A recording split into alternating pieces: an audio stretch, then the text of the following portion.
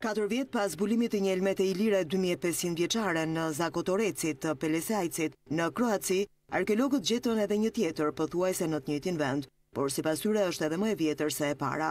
Lajmi u bë i ditur nga Marta Kalebota, arkeologja kroate nga Muzeu i Qytetit të Korçulës, njëjërazi dhe anëtare e ekipit arkeologjik që gërmon në zonën e Zakotoracit. I njëjti ekip që gjeti elmetën e parë në vitin dy mijë e njëzet, gjeti dhe një të dytë pak më të vjetër, Por detajet do të përcaktohen nga analiza të detajuara, shkruajnë mediat kroate. Përkrenarja e dytë u gjet dhjetë metra larg vendit ku u gjet e para. Ato ndryshojnë pak nga njëra-tjetra, mendojmë se i përkasin shekullit të pestë dhe e të gjashtë, që do të thotë se është pak më e vjetër se e para. Por ende duhet të përcaktohen detajet, pohoi arkeologja kroate. Marta Kalebota zbuloi se elmeta u gjet në një dhomëz gjysëmrrethore rrethuar me një grumbull të madh gurësh, ndërsa përkrenarja që u gjet para katër vitesh u zbulua në një zonë me shumë artefakte të tjera si kopsa, rruaza, enjë qeramike dhe sende të tjera. Sipas ekipit arkeologjik, elmeta është në gjendje shumë të mirë, pak e lakuar në majë.